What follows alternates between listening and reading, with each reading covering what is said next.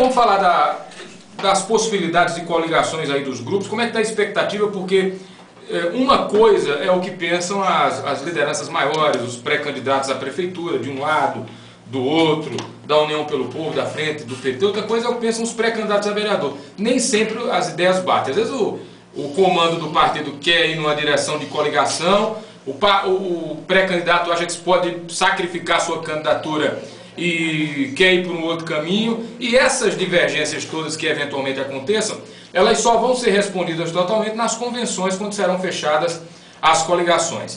Uh, Luciano, foi em que, até em que medida para os pré-candidatos a vereador a decisão de candidatura própria pode ser prejudicial, porque pode prejudicar o partido numa, numa coligação que ele vai deixar de fazer, ou em que aspecto vai ser benéfica, porque vai é, fazer com que apenas um, um, o grupo puro sangue do PT concorra e aí a, isso aumentaria a possibilidade. Em linhas gerais, como é que você faz esses cálculos aí? Pessoal, Nil, é, nós estamos trabalhando com a candidatura própria e temos trabalhado dentro do partido as candidaturas, é, os pré-candidatos, que não existe candidato ainda, Isso. os pré-candidatos a vereador. Nós estamos fazendo um levantamento de 12, queríamos pelo menos uns 15 pré-candidatos. Mas aí nós estamos trabalhando também a situação possível, é, possíveis coligações. Que afinal de contas nós estamos observando que existe aí a, a briga pela vice, que é o cargo que parece mais importante hoje aqui em Folha da Engraceira, que afinal de contas todos querem, em que o próprio Maviael, que agora há pouco citou o nome do. Ele disse, meu, meu vice-prefeito, fulano, em outro lugar, sábado, sexta, eu conversando.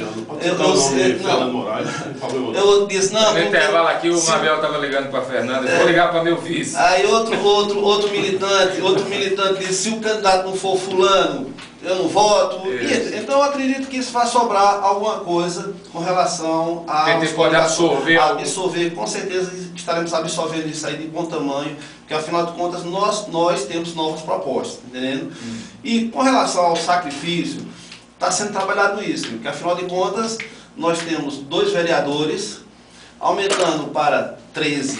Teríamos que, digamos assim, para que o partido manter manter, teríamos que fazer três vereadores, a gente fazer três vereadores considerando o quociente que vai ficar em torno de, acredito, de 1.500, teríamos que ter 4.500 votos.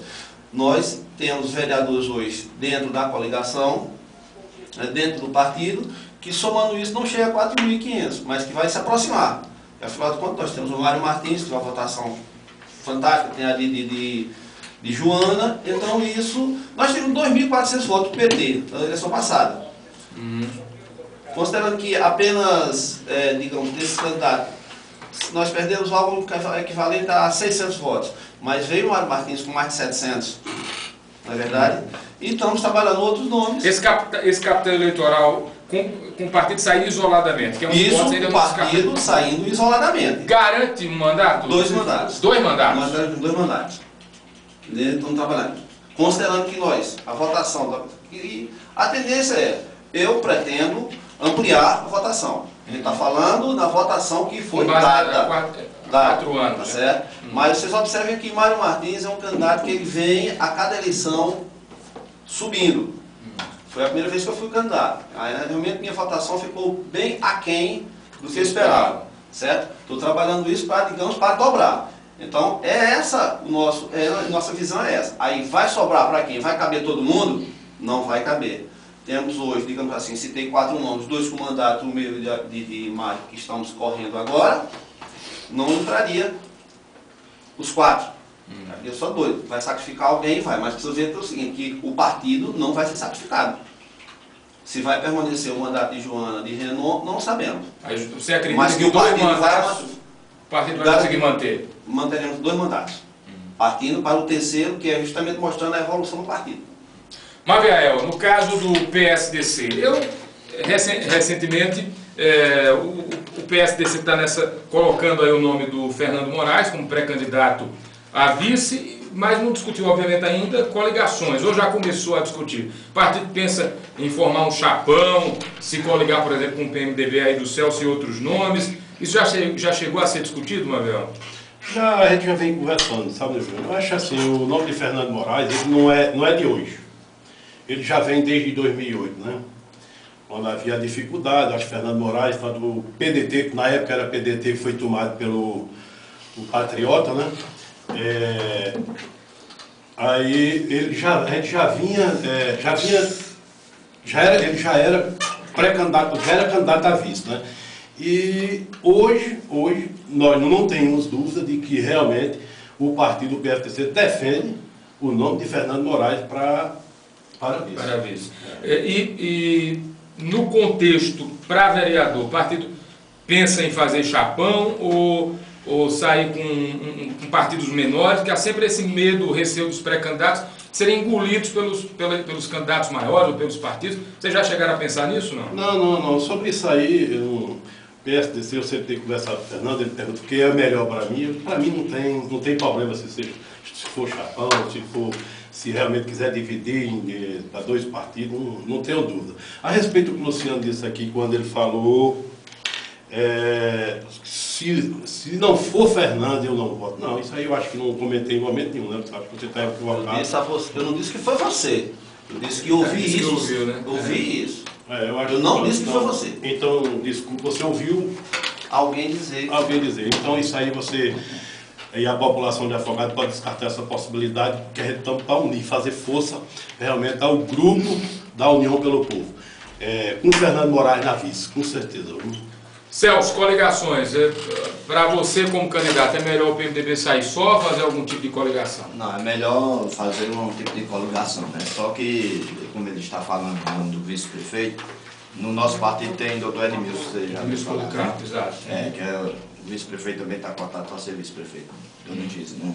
Hum. E eu acho que eu tenho que defender o nome do, do, do cara que é do meu partido, né? Puxar a sardinha para sua lata, né? É, ver o que é que vai dar, né? e você, Zulene? Partido, o, o Augusto, que, que é pré-candidato a vereador também, é tido como um nome importante aí nessa, nessa futura disputa. Isso dá garantia para vocês, dá tranquilidade para não, não ter muita exigência de formação de chapão, de coligação?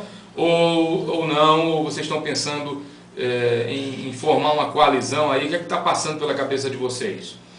Bom, eu ainda, é, nesse momento, não, não, está se discutindo ainda essa questão de, de coligação. Nós não começamos essa discussão, que eu acredito que tem que se discutir com todas as pessoas, né, as, as que estão apoiando é, patriota pela Frente Popular. Tem vários nomes aí colocados, o nome de Luiz Odon, de doutora Lúcia Moura, de Zé Negão, de Heraldo Feijó, entre outros nomes que estão ouvindo o povo.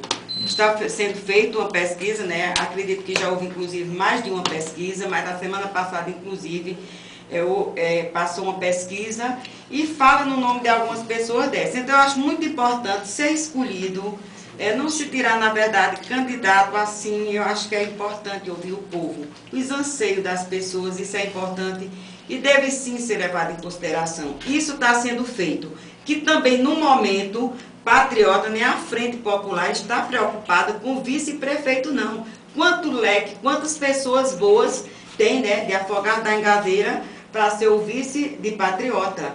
Então está se discutindo exatamente nesse momento, que inclusive já começou há dias, e sábado houve um momento muito importante, do qual eu não participei, porque eu estava em outro evento, nós estamos começando a discutir o plano de governo para essa cidade. É o que importa nesse primeiro momento. Bom, e nesse